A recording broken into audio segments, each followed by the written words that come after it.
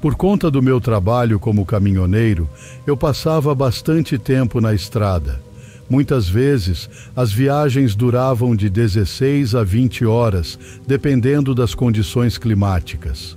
Certa vez, eu estava em uma viagem por uma rota que ainda era relativamente nova para mim. Já era noite quando, de repente, meu caminhão começou a emitir um som estranho. Parecia que eu havia atropelado alguma coisa e aquilo tinha ficado preso.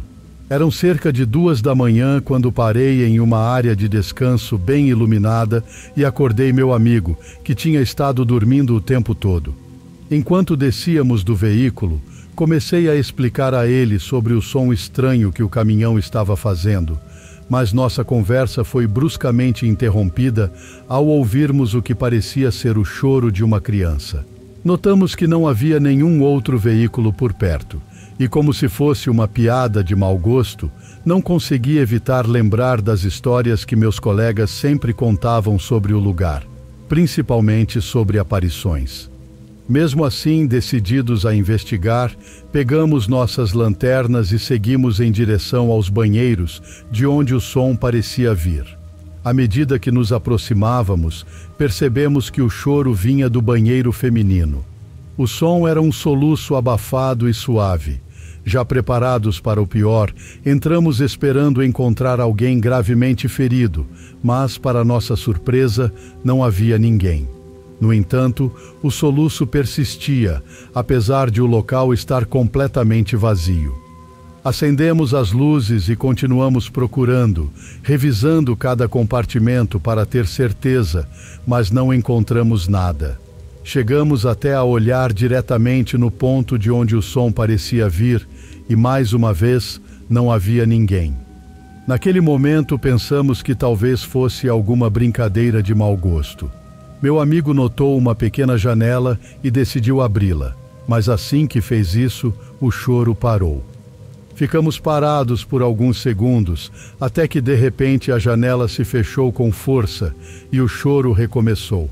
Saímos daquele banheiro em questão de segundos, correndo de volta para o caminhão, enquanto o som continuava ecoando ao fundo.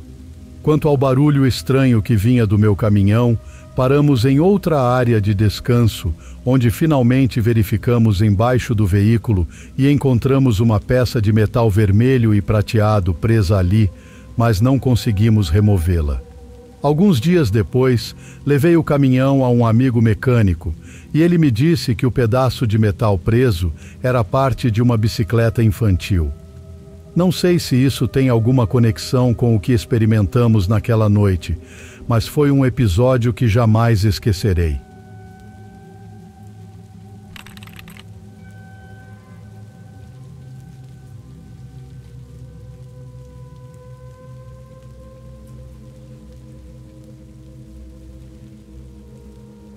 Isso aconteceu em um dia enquanto eu estava dirigindo com minha namorada para visitar meus pais. Vale mencionar que prefiro dirigir à noite, pois há menos tráfego e posso viajar com mais tranquilidade. Naquela noite eram cerca de três da manhã e, como estávamos fazendo um bom progresso, decidi parar em um posto de gasolina para pegar um pouco de café para nós. Com essa pausa, deveríamos chegar ao nosso destino em mais ou menos uma hora. Minha namorada dormia profundamente enquanto eu continuava dirigindo, até que o rádio começou a falhar de repente. Além disso, de forma estranha, comecei a sentir um pouco de sonolência, então dei um gole no meu café para tentar me manter alerta. Vale ressaltar que, devido ao horário, era quase impossível distinguir claramente o que estava à minha frente na estrada. Na verdade, não havia carros visíveis, exceto por algumas luzes distantes. Depois de dirigir por um tempo, avistei o que parecia ser um pedestre pedindo carona. Ou ao menos foi o que pensei inicialmente, mas não tinha certeza devido à pouca iluminação. À medida que me aproximava, comecei a notar detalhes estranhos, como o fato de a figura ser extremamente magra, alta e, em sua maioria, de aparência escura. Quando estava a cerca de 10 metros dessa figura, Ela se virou repentinamente e fixou os olhos em mim enquanto eu passava. Naquele momento, tive certeza de que aquilo não era uma pessoa, e foi, sem dúvida, a visão mais aterrorizante que já presenciei. Era um cervo. Já vi cervos se levantarem nas patas traseiras para lutar, mas eles ainda mantêm a postura típica de um cervo enquanto fazem isso. Mas o que eu vi estava andando.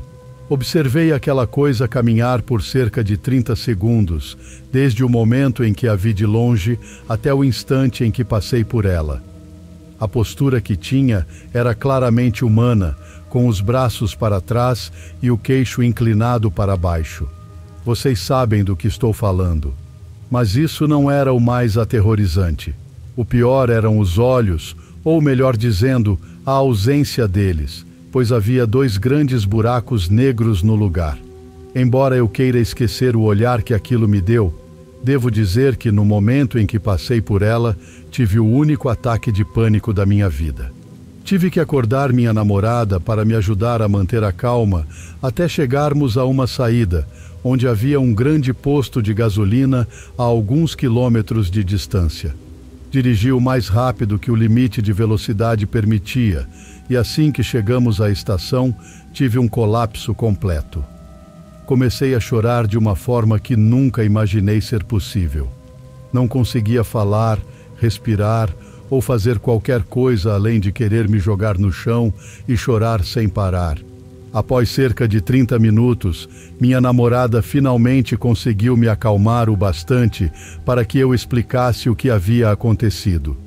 Embora eu duvide que ela tenha acreditado em todos os detalhes, ela percebeu o quanto eu estava apavorado. A verdade é que depois desse episódio, minha vida nunca mais foi igual.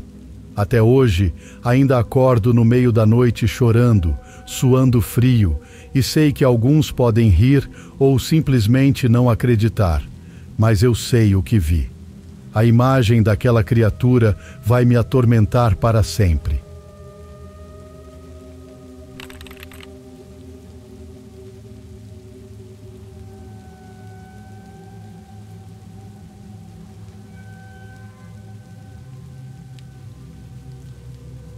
Eu faço uma rota de entrega noturna que passa por vários vilarejos, cerca de 30 quilômetros do centro.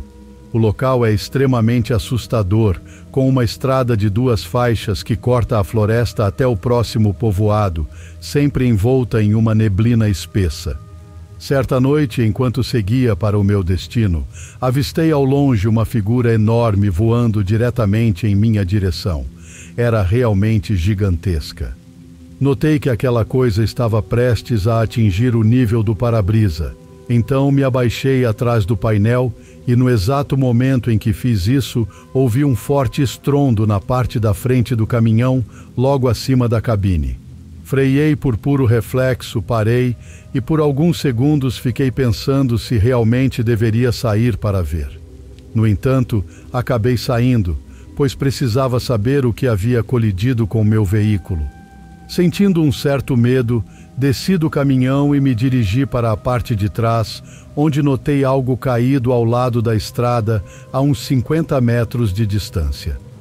Parecia ter o tamanho de um homem, mas inicialmente pensei que fosse um grande falcão ou uma águia que tinha atingido. Assim comecei a andar em sua direção, supondo que estivesse morto. Não estava. De repente, a poucos metros de distância, essa criatura se ergueu sobre duas patas com um pulo vigoroso e alçou o voo, emitindo um som que parecia ser de dor. Juro que tinha forma humana e pelo menos dois metros de altura. Definitivamente não era um pássaro e eu não sabia o que era. Assustado, corri de volta ao caminhão para prosseguir viagem. Parei na próxima estação de serviço e desci para inspecionar a traseira do veículo, onde vi marcas de asas grandes na lama que não pareciam de um pássaro, mas sim tinham a forma de asas de morcego. Se tivesse que descrever, a única coisa que me vem à mente é que se assemelhava ao monstro conhecido como Mothman. Mesmo que isso tenha acontecido há algum tempo, ainda sinto um calafrio toda vez que passo por aquela estrada.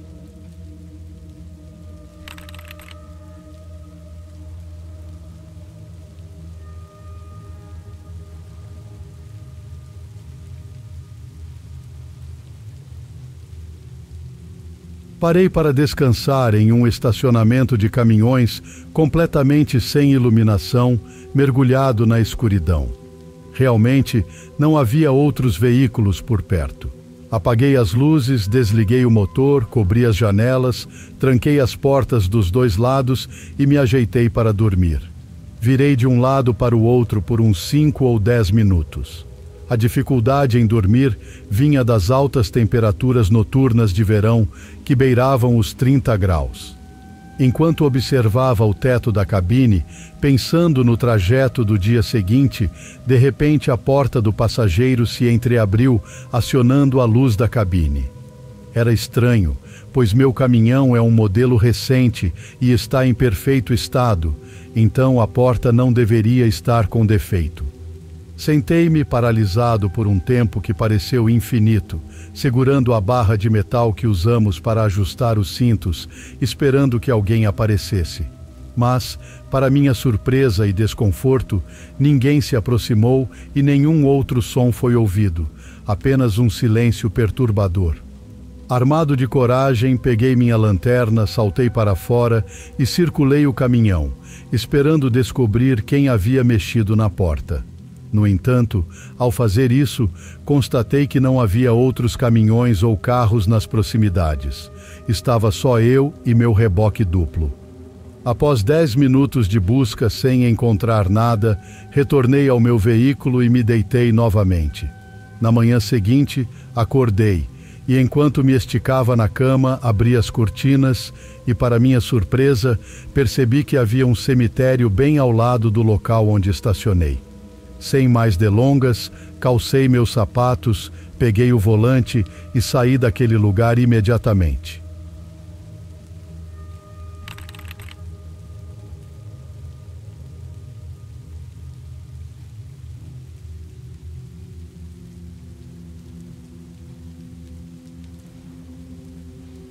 Cerca de dois anos atrás, meu amigo e eu resolvemos fazer um passeio de carro.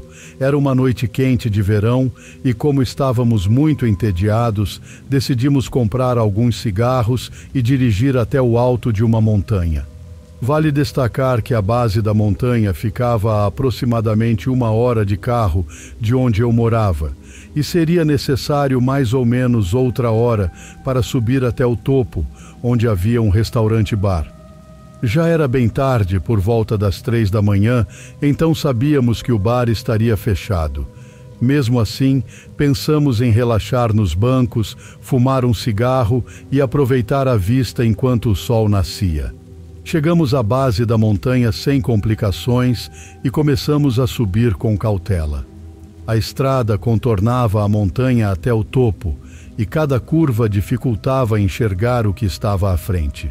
A escuridão era completa.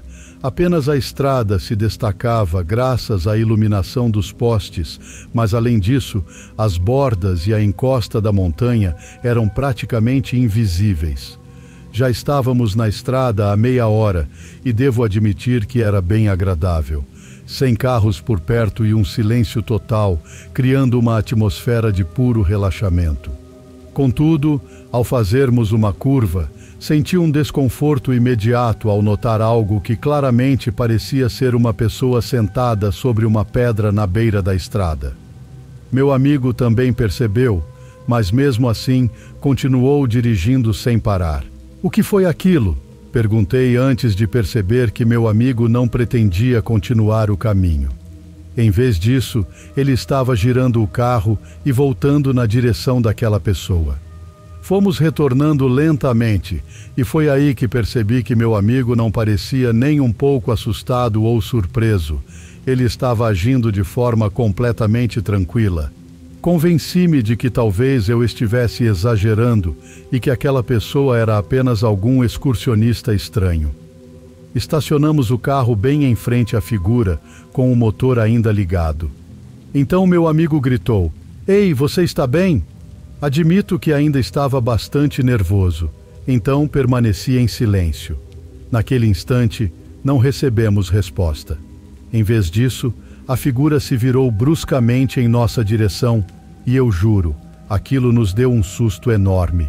Vimos que era uma mulher vestindo um vestido simples, com cabelos extremamente longos e bonitos, mas o que mais nos aterrorizou foi seu rosto. Era três vezes maior do que o de uma pessoa comum. Seus olhos estavam completamente brancos e um sorriso grotesco estava estampado em seu rosto. O medo que sentimos foi tão intenso que ficamos completamente paralisados. Não conseguíamos gritar, falar ou sequer nos comunicar. Parecia que nossos corpos estavam travados. Não sei como meu amigo encontrou coragem para pisar no acelerador e sair dali, mas o que lembro com clareza é que quando chegamos em casa, ambos estávamos com uma febre altíssima e essa febre nos acompanhou por alguns dias.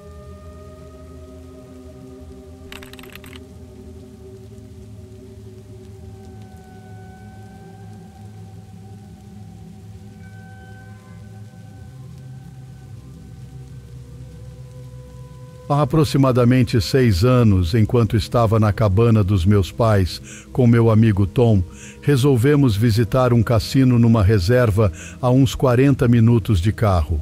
O caminho até lá era extremamente liso e totalmente desprovido de luzes, o que tornava a noite particularmente escura. Após uma viagem monótona, finalmente chegamos e nos dedicamos a jogar pôquer, exploramos algumas mesas de jogo e saboreamos um jantar pago com nossos lucros. Em resumo, foi uma noite muito proveitosa para nós. Deixamos o cassino por volta da uma da manhã, um pouco mais tarde do que eu preferiria, devido à ausência de iluminação nas vias. Estávamos dirigindo a uns 20 minutos pela estrada sem encontrar nenhum outro carro quando avistei duas luzes verdes ao lado da pista, pouco antes de uma elevação. Ao identificar que era um veado, freiei e aguardei. Atrás dele, uma manada de veados surgiu e, após atravessarem, seguimos viagem. O veículo começou a ascender a elevação lentamente e, ao alcançarmos o cume, Tom exclamou: Olha! Ergui os olhos e, diretamente à nossa frente, uma moça caminhava pelo meio de nossa faixa ao nosso encontro, a não mais de 15 metros. Freiei imediatamente, parando a apenas dois metros dela. Por sorte, eu tinha diminuído a velocidade antes de subir a elevação. Então não íamos muito rápido. Mas minha preocupação não era tanto o quase atropelamento, mas o fato de que essa jovem de cabelos escuros, vestindo uma camisola branca e pés descalços, continuava a se aproximar de nós com um rosto pálido e sem expressão. Confesso que essa cena me aterrorizou, pois parecia ter saído diretamente de um filme de horror. Ficamos esperando para ver se ela se aproximava da nossa janela, talvez em busca de auxílio ou algo do tipo. No entanto, ao chegar à frente do veículo, ela simplesmente contornou pelo lado do motorista. Contudo, não parou. Em vez disso, ergueu a mão e a deslizou pela lateral do meu carro enquanto prosseguia seu trajeto. Obviamente, nesse momento, Tom e eu estávamos apavorados. O que fazemos? indaguei. Vamos sair daqui, respondeu Tom. Por algum motivo não me sentia confortável em simplesmente partir sem ao menos perguntar se aquela mulher estava bem, apesar de sua aparência inusitada. Ela provavelmente precisava de ajuda. Então, verifiquei pelo retrovisor e notei que ela seguia andando. Tendo quase a atropelado e sentindo que algo não estava certo, decidi agir. Informei a Tom que iria verificar se ela precisava de algo mas ele suplicou para que saíssemos logo dali. Recusei e lhe assegurei que voltaria em breve. Peguei meus óculos e desci do carro, deixando a porta aberta para que a luz ajudasse, e me direcionei até o porta-malas. A iluminação interna era fraca, mas as luzes de emergência me permitiram ver seu contorno mais adiante na descida da colina, e sendo capaz de vê-la apenas a cada dois segundos, gritei: Ei, você está bem? De repente, ela parou de caminhar, mas continuou de costas para mim. Não houve resposta. Escutei a porta do carro abrir enquanto Tom descia para se juntar a mim. Foi nesse momento que a mulher começou a emitir gritos assustadores e, inesperadamente, ela desapareceu exatamente quando as luzes de emergência se extinguiram. Tom e eu corremos de volta ao carro com o coração aos saltos e nos afastamos rapidamente daquele local.